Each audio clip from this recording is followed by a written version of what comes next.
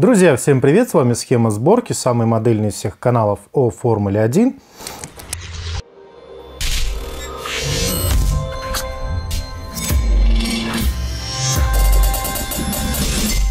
Я даже не знаю, с чего начать, вернее, чем продолжить. Продолжим ковыряться мы сегодня в этой чудесной модели. Я нашел, кстати, в ней пару приятных моментов. Первый – это то, что сиденье, весь ложемент сиденья прям подходит э, в свои пазы, и нам не нужно скрывать внутреннюю часть кокпита. Обычно это большая проблема на моделях. Там карбонить надо, выкрашивать. Здесь все это не нужно делать.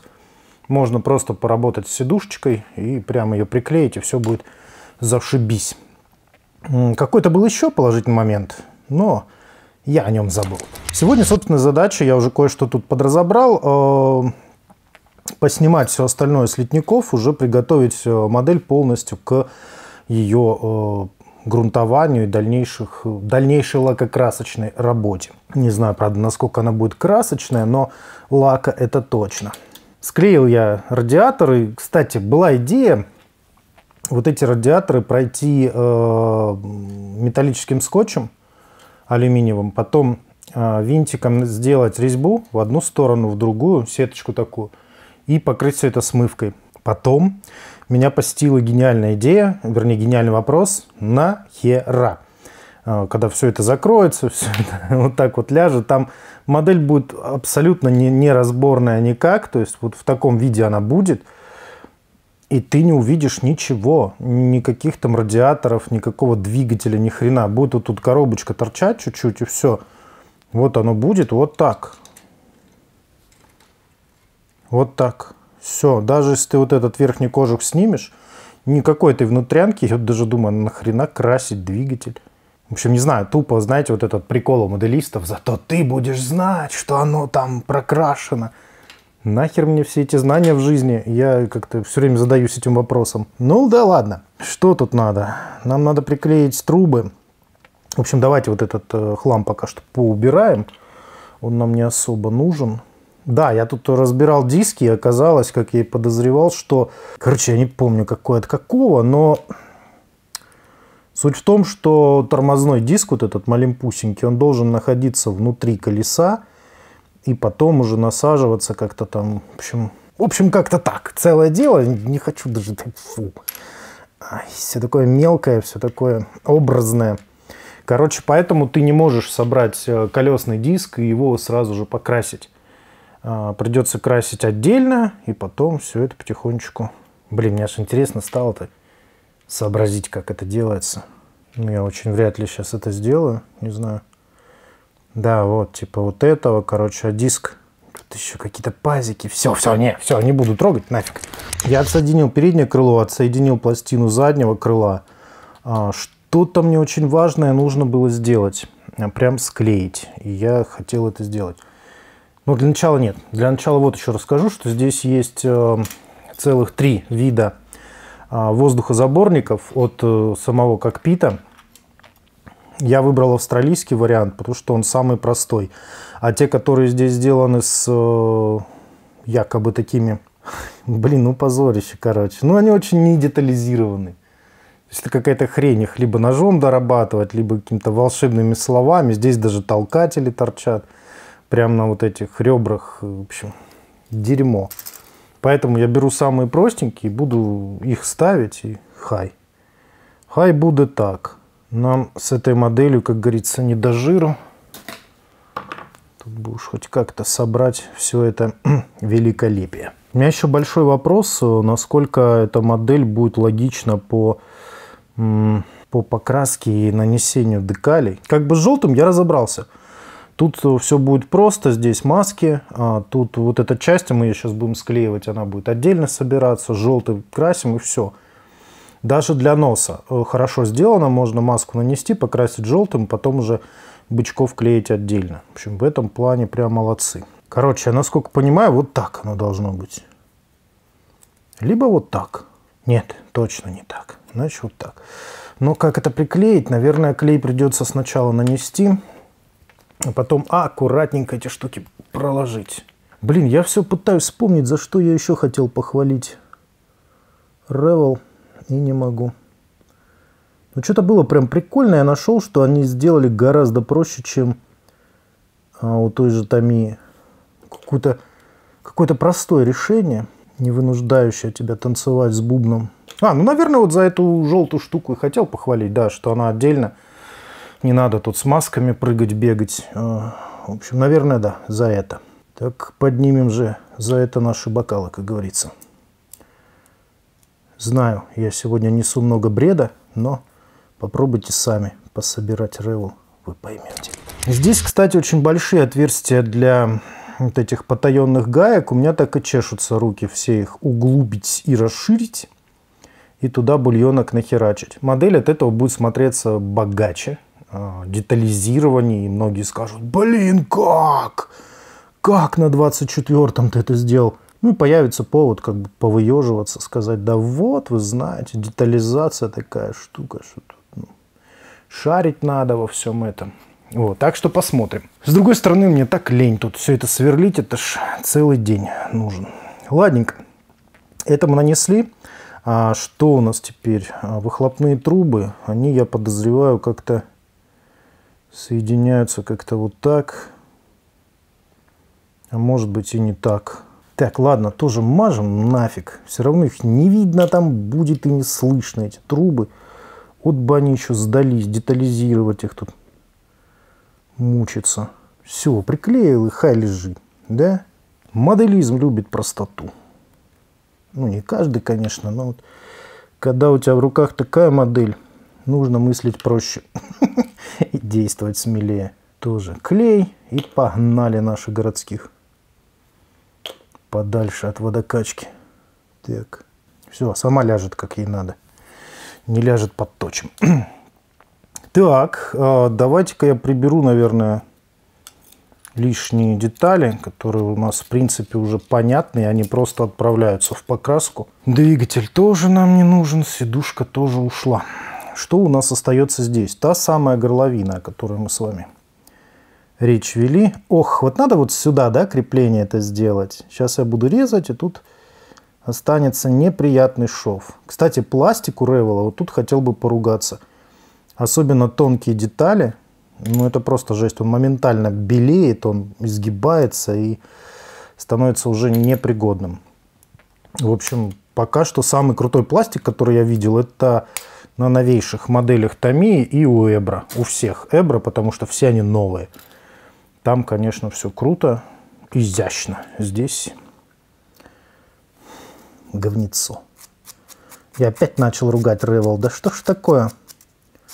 С этой моделью точно врагов себе наживешь.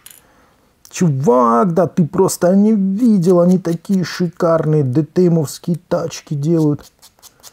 Да ДТМовские пусть хоть уделаются. Сделайте нам хоть одну приличную Формулу-1. Что это за гамно? Так, вот это гамно, кстати, надо склеить как-то. Причем идеально ровно, чтобы оно потом идеально ровно встало туда. Ты, сука, как не возьмись, оно все разваливается. Зашибись. Угу, угу. И вот пазик вот этот тут сделан внутренний, а тут внешний, и они ни, ни хера не сходятся. Вот он, он гуляет в ней тут туда-сюда на полметра. Ну что, держать руками? Ну тогда попозже, ближе к концу мы его начнем склеивать, потому что руками держать долго. Пока просто обозначим, что у нас этот элемент присутствует. Тут еще один просто такой сейчас будет. И он примерно вот он тоже в самых неказистых местах стыков, там, где все должно быть мега точно, сделаны крепления к литникам. Очередные лучи добра летят в компанию Revel. Вот уруда. Кто ж так делает? Ой, самая беда, что нам вот эту тему тоже нужно склеить. Причем настолько точно и филигранно, вот эту никак не, не крепящуюся херню нужно склеить, чтобы она одевалась у нас на наш обтекатель. Вот так. Она, походу, так трубкой клеится. Ага. Ну-ка. Да. О, ништяк. Ништяк. Можно ее прям склеить, да и оставить. Все хорошо. Обозначили. О, ее прям так можно клеить. Зашибись. Не, нельзя, она расползает. Скотина. Короче, вот, две детали. Дальше пошли по мелочам под покраску. У нас различные дефлекторы боковые идут в ход. Здесь есть вот такие прикольные штучки. Боковые пенечки, за них берешь крокодильчиком и красишь. Потом это аккуратненько отрезаешь и делаешь... И надеешься, что никто не заметит, что у тебя там лак и краска срезаны. Ну, качество литья, конечно, просто трендец, ребята. Вот честно, иногда кажется, что лучше было бы, если бы они просто в коробку положили пластмассовый кирпич. Из него было бы проще выточить модель, чем из вот этого вот. Какой-то жесткий ахтунг, просто жесточайший. Здесь даже не знаю. Давайте я вам покажу просто. При этом освещение, наверное, будет не видно, но тем не менее. Не, не получится показать при этом освещении. Ну, поверьте на слово, вот это вот все дерьмо. Дерьмо, дерьмо, дерьмище. Это даже не литье, а так, видимо, пальцами долепляли уже, что было. Везде идет вот по этому тонкому элементу переднего антикрыла, который должен быть очень детализированным. Ну, сами понимаете, Формула-1, аэродинамика, все такое. Здесь везде облой. Вот эти вот торцевые пластиночки, они даже никак не детализированы, они просто такие прозрачные. Где-то я такое встречал, на какой-то, на Лотосе, по-моему, как раз от Эбра. Но это вот самая их древняя модель была. И вот там такая хрень происходила. Ну и то, это было там в одном месте, буквально в очень острых концах. А здесь это табло везде. Он по литнику идет, по деталям, просто кисточкой с пластмассой кто-то вот так прошелся и сойдет, зашибись. Я этого не очень понимаю, честно говоря. Все, литник вроде бы чист и пуст. Проверьте еще раз. Ничего нету. Все, выкидываю. Так, дальше у нас идет сразу тут несколько этих крыльев. Я подозреваю, что тоже на выбор. Сейчас проверю. Нет, нифига оно не на выбор, короче. Вот это будет нижнее, оно будет прямо на коробке, прям э, в районе задней подвески находиться. Из него будет выходить вот эта вот сидушка для обезьянок, монки сит так называемый. А вот эта пластина, она уже идет на само антикрыло сверху. Мелкая, очень мелкая. После 20 масштаба прям... А. Вот. Ну, еще у нас что тут? Две камеры. Пока в таком виде. А, вот это что такое, я вообще не понял. Тоже какой-то аэродинамический элемент. Я подозреваю, что он где-то то ли снизу находится. Надо его поискать. Все, нашел. Это воздухозаборники тормозов общем-то, тоже в черный цвет. Как получится их прокарбонить, не знаю. И в путь. Так, небольшие элементы подвесочки пока что оставлю на литнике. Вот у меня теперь вопрос, как я всю эту гору хлама буду назад в коробку складывать, учитывая, что у коробки вот так только сбоку есть дырка. Если я туда все это насыплю, оно там все... Блин, я привык так раскладывать все в коробочке, потом накрывать крышечкой – аккуратно ставить там. Хитить. Ладно. Я ною, ною, ною, ною. Ну, вы поняли, эта модель уже будет веселой. Но, с другой стороны, видно, что она ну, не мертвая. Не сказать, что это прям труп, который невозможно собрать. Да, тут придется повозиться с покраской, с карбончиком, но в целом довольно все сделано логично и понятно. Если бы оно еще было вот отлито хорошо, сам пластик был бы хорош, ну прям цены бы не было. И масштаб 20 а лучше 12 Ну вообще тогда золотая моделька была. Но нет. Ревел почему-то, зная, что Тamiya, Фуджими, Студия 27, Эбра делают все это в 20 масштабе, взял и захерачил целую линию 24 -го. Сейчас такой же фигней занимается а, Хасыгава, по-моему. Они фигачат э, модели болидов начала, вернее, конца 80-х, начала 90-х. Вот в 24 масштабе. Редчайшие штуки, интереснейшие, но 24-й. Кому он нужен в 21 веке? Даже зеркала через жопу сделаны. Не одобряю. Ну, то есть сегодня вы уже поняли, да, я хочу снять вообще все, чтобы это уже отправить на грунт на покраску, чтобы оно не валялось. Возможно, я даже в коробку это собирать не буду, а просто завтра сразу на крокодильчики, в пенопластовые стенды, и хай стоит в таком виде. Потому что если я сейчас все это скину в коробку, я уже не найду потом. Че, где, откуда. Педали. Ну, педали чисто условные. Тут, конечно, их видно не будет. Это скорее сделано как игрушка, знаете, чтобы играющийся человек мог ну, пофантазировать, что он собирает там настоящую модель а, с педалями, там, с двигателем. Но вот практического смысла я вам уже показал. Ни в двигателе, ни в педалях, ну тупо нету. Это я не ругаюсь, даже не бурчу, я просто констатирую гребаный факт. Так, вот это вот я знаю откуда. Небольшая такая антенка. И две не то что небольших, совсем маленьких антенки. Я их бы лучше сделал бы из гитарной струны, наверное. Но пусть лежат. Здесь а, еще парочка боковых элеронов. Я надеюсь, мне не придется потом их это...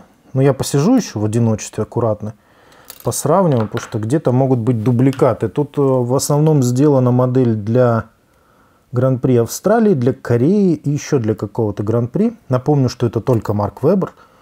Поэтому тут вся детализация такая. А у них то ли в том году, то ли не в том, еще была вот эта драка за новые антикрылья.